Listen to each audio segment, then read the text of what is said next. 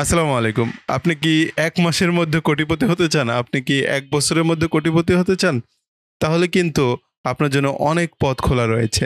অনলাইনে বর্তমানে এ ধরনের প্রচুর প্রচুর উপায় পেয়ে যাবেন, যেগুলোর মাধ্যমে আপনি কিন্তু এক বছর, ছয় মাস কিংবা এক মাসের মধ্যে কোটিপতি হতে পারবেন। বর্তমান এই যুগে অনলাইনে কিছু চটকদারি বিজ্ঞাপন রয়েছে, যেগুলোর মাধ্যমে আপনারা এ ধরনের খবর শুনে থাকেন যে, আপনি যদি আমাদের কাছ থেকে এই মেশিনটা নেন নিয়ে যদি বিজনেস শুরু করেন, তাহলে আপনি এক মাসের মধ্যে কোটিপতি হয়ে যাবেন।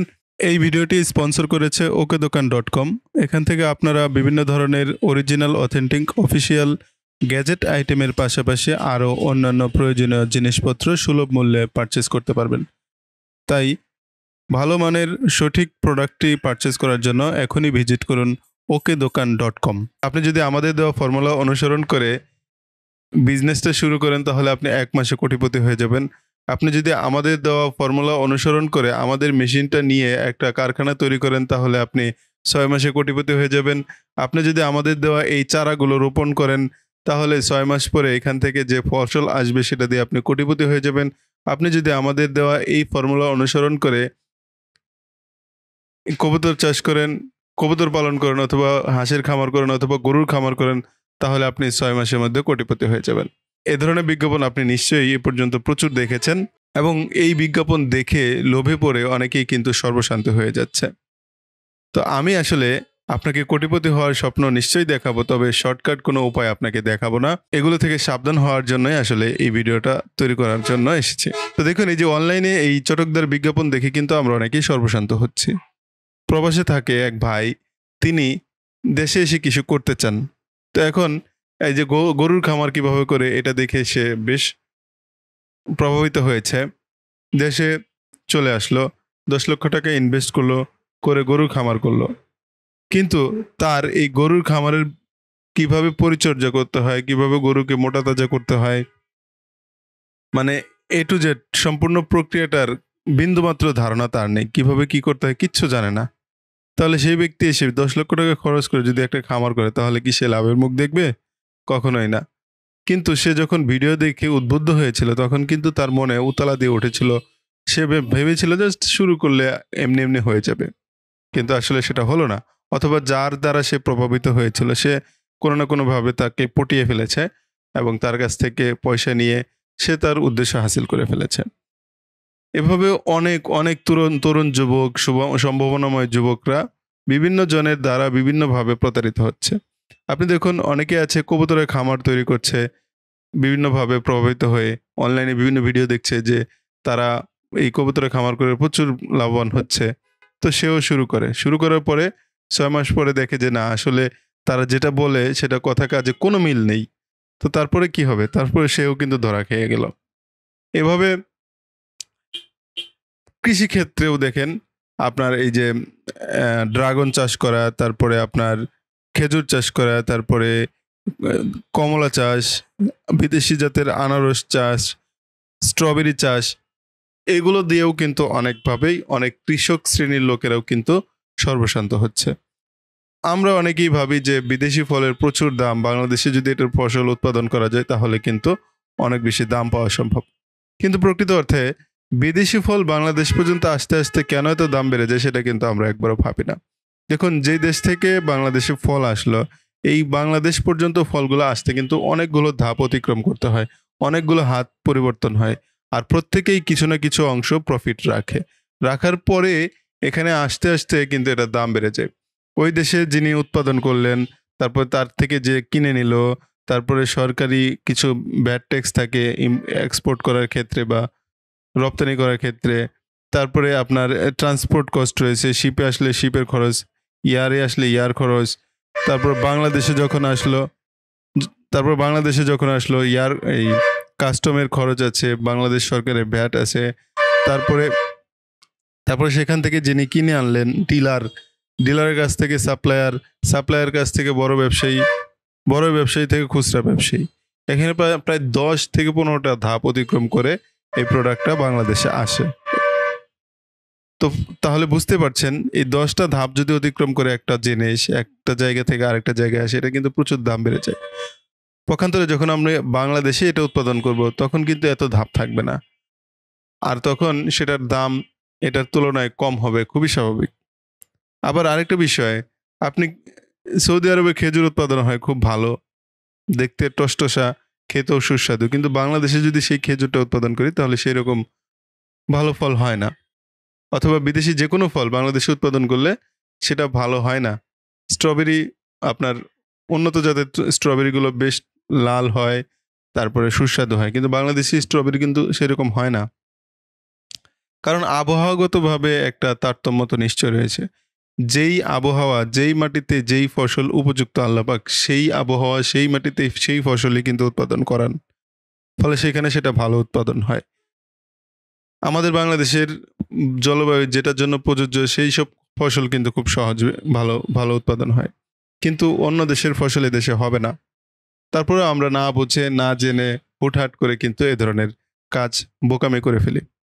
আরেকটা বিষয় আমরা এই যে বিদেশি ফলের চারাগুলো বাংলাদেশে এনে উৎপাদন করছি, এগুলো কিন্তু বাংলাদেশ কৃষি মন্ত্রণালয় দ্বারা ভেরিফাইড না। যেসব ফসল বা চারা বাংলাদেশ কৃষি মন্ত্রণালয় বাংলাদেশ কৃষি মন্ত্রণালয় দ্বারা ভেরিফাইড অর্থাৎ কৃষি মন্ত্রণালয়ের গবেষণাগার রয়েছে, তারা আসলে বিভিন্ন চারা গাছ বা বিভিন্ন ফসল তারা নিজেরা গবেষণা করে গবেষণা করে দেখে যে এটা বাণিজ্যিকভাবে মার্কেটে ছাড়া যায় কিনা। তারপরে তারা এটা বাজারে ছাড়ে। কিন্তু আমরা যেসব এই যে বিদেশি ফলের জাতগুলো বাংলাদেশে উৎপাদন করার চেষ্টা করি, সেগুলো কিন্তু বাংলাদেশ কৃষি মন্ত্রণালয়ের দ্বারা এইভাবে বাণিজ্যিকভাবে ছাড়া যায় কিনা তা কিন্তু পরীক্ষিত নয়। আপনি হুটহাট একজনের দেখা দেখি করে কিনে আনলেন, এনে আপনি এটাতে কিন্তু ধরা খেয়ে বসলেন। তাই এই ধরনের যে কোনো কিছু অনলাইনে বিজ্ঞাপন দেখার আগে বা দেখার সময়, নিশ্চয়ই এটা সম্পর্কে আর একটু বিস্তারিত জেনে নেওয়া আমাদের জন্য। নিজেদের জন্য মঙ্গলকর। তাই এইসব চটকদার বিজ্ঞাপন দেখে আপনি প্রভাবিত হবেন না। তাহলে কিন্তু সর্বশান্ত হওয়ার সম্ভাবনা অনেকটাই রয়েছে। আমি আমার নিজের অনেককেই দেখেছি এভাবে প্রতারিত হচ্ছে। এক এক ভাইকে দেখেছি কবুতরের খামার করেছে। দেশি কবুতরের খামার। একটা দুইটা ঘর সে একদম রিজার্ভ নিয়েছে। তাও ঢাকা শহরের মতো জায়গায় নিয়ে এসে কবুতরের খামার করেছে। যেখান থেকে কবুতর কিনে এনেছে, সে বলে কি, ভাই, আমি যার কাছ থেকে কবুতর কিনলাম, সে আমাকে ভিডিও করালো, সেখানে আমাকে মিথ্যা কথা বলতে বলল। আমি ধরেন পঞ্চাশ জোড়া বা পঁচিশ জোড়া কবিতর নিয়েছে, আমাকে বলল, আমি তিনশো জোড়া কবিতর নিয়েছি, এটা বলবেন।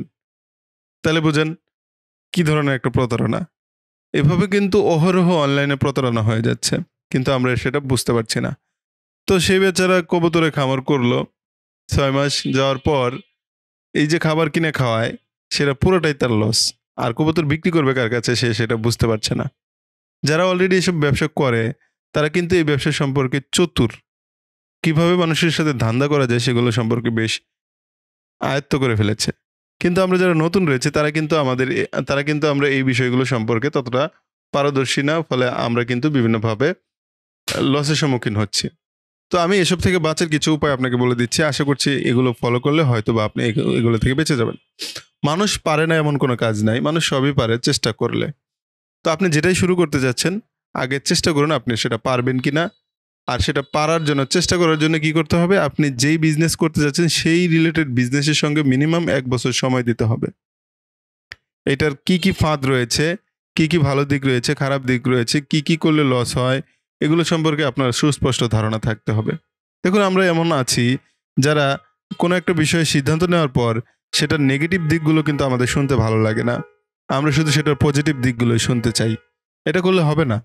কারণ প্রত্যেকটা জিনিসেরই আপনার ভালো দিক রয়েছে, খারাপ দিকও রয়েছে। আপনি শুধু ভালোটা নেবেন, খারাপটা নেবেন না, তাহলে কিন্তু হবে না।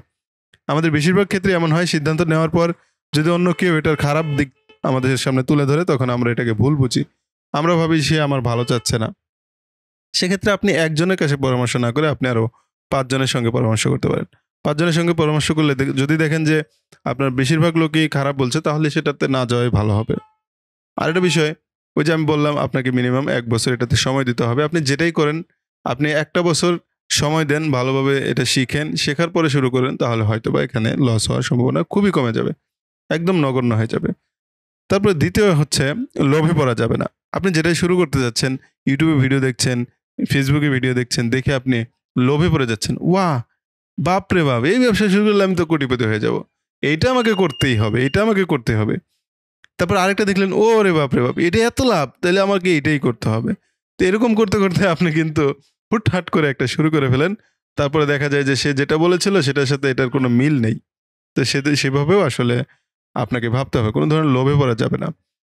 তারপর যার কাছে যেটা শুনছেন সেটা একটু ভেরিফাই করে নেবেন, আসলে সেটা সত্য কিনা।